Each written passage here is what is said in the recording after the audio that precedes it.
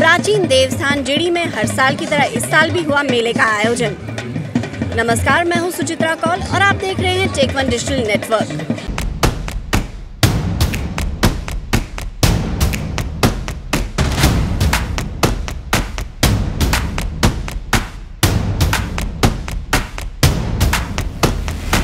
हर साल की तरह इस साल भी जम्मू डिस्ट्रिक्ट एडमिनिस्ट्रेशन ने जीडी में मेले का आयोजन किया।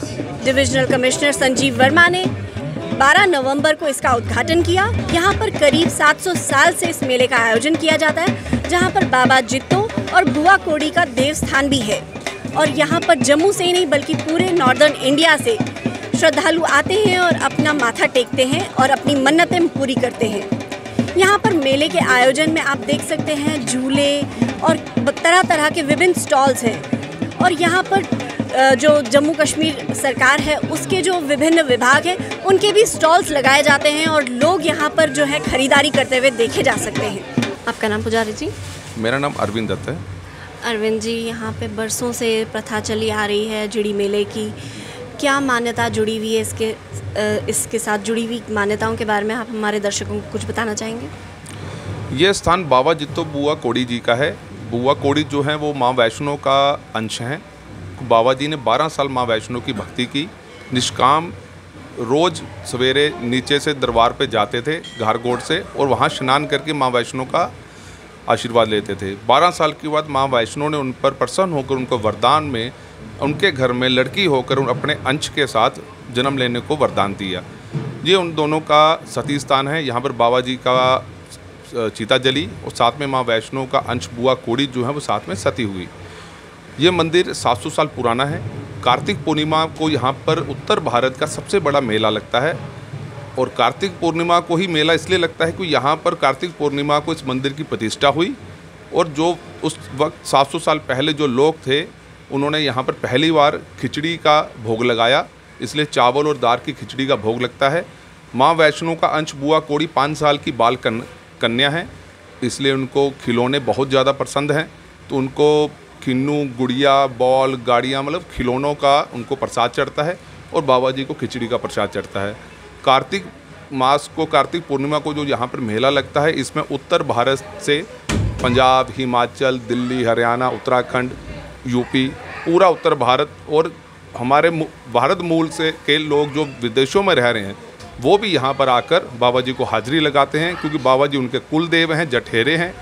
तो ये प्रथा 700 साल से चलती आ रही है। पीढ़ी दर पीढ़ी जो लोग हैं श्रद्धालु हैं उनके दादा परदादा 700 साल से यहाँ पर आकर अपनी मनते मांगते हैं अपनी मनोकामना मांगते हैं। बाबा जी तो बुआ कोड़ी उनकी मनोकामना पूर्ण करते हैं इसलिए उनका दृढ़ संकल्प दृढ़ विश्वास है बाबा जी के लिए और बाबा जी उसको पूरा भी करते हैं। इस समय हमारे साथ कुछ श्रद्धालु जुड़े हुए हैं जो कि लुधियाना से यहाँ पे दर्शन करने के लिए आए हुए थे।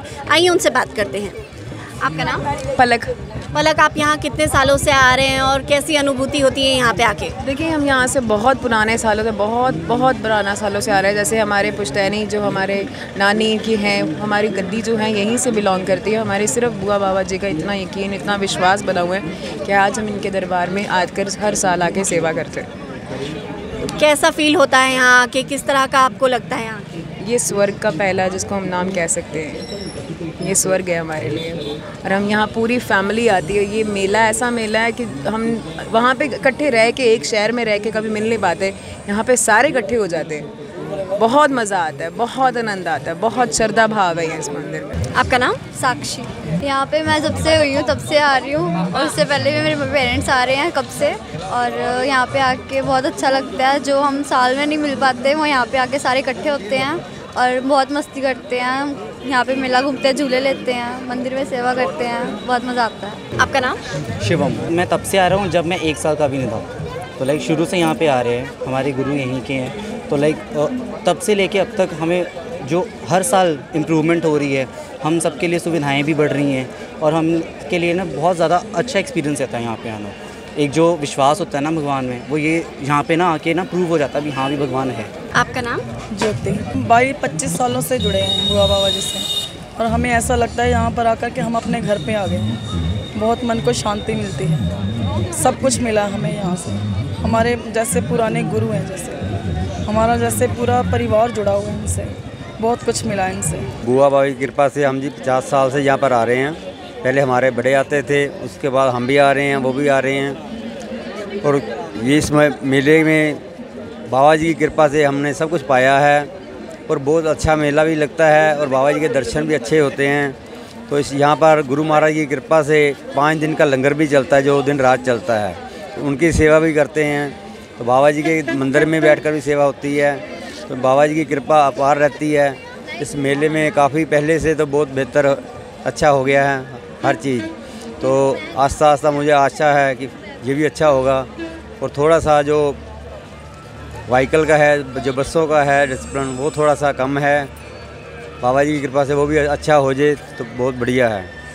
नॉर्दर्न इंडिया का सबसे बड़ा मेला होने के साथ साथ इस मेले को अगर कोई चीज़ खास बनाती है तो वो इस मेले से जुड़ी हुई धार्मिक मान्यताएँ हैं। और इस मेले में जो आप देख सकते हैं कि बहुत सारे तरह के झूले लगाए जाते हैं, जो कि बच्चों के लिए भी खास तौर पर आकर्षण का केंद्र बन रहते हैं। टेक वन डिजिटल नेटवर्क में बस आज इतना ही। सुचित्रा, कॉल को दीजिए आज्ञा। नमस्कार।